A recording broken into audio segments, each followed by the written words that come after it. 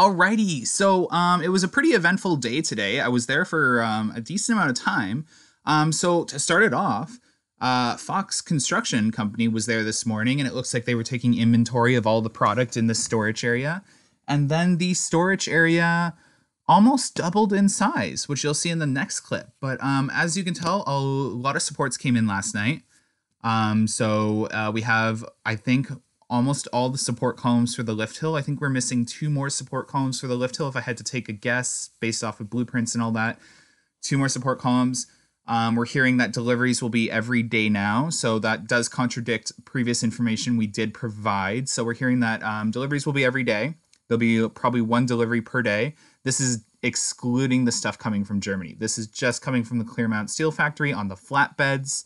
Um, anything that comes in a shipping container is coming from Germany, and those are typically just parts for the coaster themselves and not actually the coaster. So the coaster, anything coming from Clermont, um, is on a flatbed and it uh, it is uh, supports and um, track pieces. So another lift motor did arrive, and this is definitely what arrived is the big lift motor. I'll show you that in a second. But here you can see how uh, yeah they doubled the uh, the storage area, uh, and this is probably because the lift pieces are on their way. We're missing two track pieces for the turn out of the station.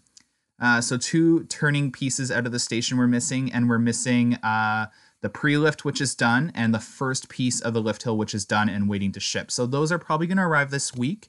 And uh, that like i can't believe how quickly things are arriving. I mean so uh, in the back there you can see that pre-lift i'm talking or sorry the motor for the lift hill. See how massive that is? That's the motor for the lift hill right there in the back we'll get to that in a bit um, so based off of information, I analyzed everything in here. It is looking like the coaster might be 234 feet tall in that range, maybe 240.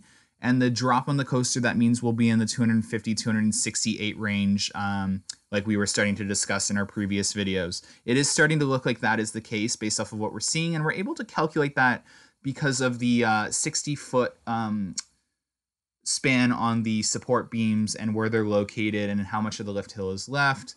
So we're predicting again around a 230 foot tall dive coaster with a 250, 260 something drop. Um, and the dive coaster will definitely take the um, length record based off of what we're seeing. Um, and again, here is some of the proof on how we're able to um, kind of figure out how tall this coaster is going to be. Again, we're not fully sure. Like that is an assumption that Amusement Insiders is making. So what you want to do with that information is totally up to you. Um, again, you will not know anything about this coaster until the announcement day for sure. Um, so basically, what was going on today is Fox was looked like they were taking inventory in here. Um, the construction site is ready to go in terms of vertical. There were people on the construction site with blueprints and um, lots of uh, getting things moved over to the fence area back there. So vertical did not fully start today, but the process of it definitely did. So again, they were taking inventory. Um, track pieces and supports are going to be arriving daily now from Clermont, and um, yeah, I, I I'm I'm going to be there tomorrow. I got my drone um, updating and charging again because I think it's going to be any day now that I'm going to start using my drone again. So hopefully you're excited for that.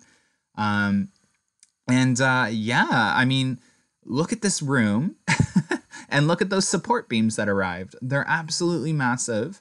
And uh, we know that all the equipment for vertical construction is on site and ready to go as well. It is just about um, waiting for it to actually happen. We know that there was a team of about 20 people today on site doing that inventory of what's in there already. So that was really amazing um, to see um, and uh, hear about. And uh, as you can see, we have new markings, spray paint markings that are littered throughout Timberwolf's forest. So we know that support column 63 and 62 and 61 and 50 stuff is in there. We know that they're the they're on the nails in the ground with the orange tape on them.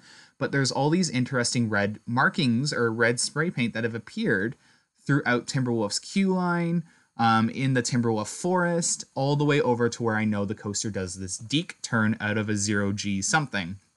So that's really cool. Um, definitely, there the progress is ramping up, and um, I'm asking myself, do we potentially think that this path can close a little earlier, and they'll just use the other path into Splashworks? Because they do need to start construction if they're removing a lot of trees? Or is this coaster going to stay above the tree line for the most part, as that we know they don't like removing trees? A lot of questions are raised by this, and I can't give you an answer yet on that.